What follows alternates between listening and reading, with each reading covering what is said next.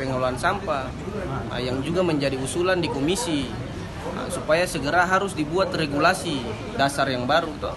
Uh, karena memang hari ini kalau kita lihat fakta di lapangan membuktikan bahwa uh, pemerintah kota juga kelabakan dalam menyelesaikan permasalahan sampah dan oleh sebab itu uh, kita mintakan tadi yang sangat ditekankan ini mengenai sampah ini kita minta supaya memang ada goodwill.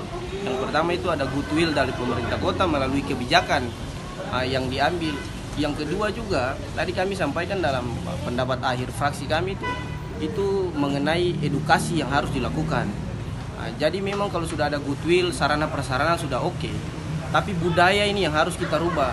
Uh, jadi tadi kami sampaikan melalui catatan akhir fraksi supaya ke depan bisa diakomodir dalam program dan kegiatan pemerintah kota itu ada program dan kegiatan yang bersinergi uh, dengan toko-toko agama, juga dengan toko-toko masyarakat, uh, juga dengan instansi-instansi terkait, uh, terkhusus bagi mitra kami dinas pendidikan ya supaya ada program edukasi ke mulai dari anak-anak usia dini itu dapat peduli terhadap lingkungan, peduli terhadap sampah.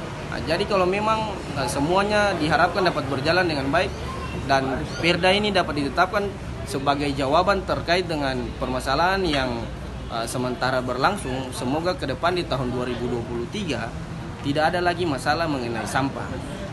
Terima kasih sudah nonton. Jangan lupa like, subscribe, dan share ya.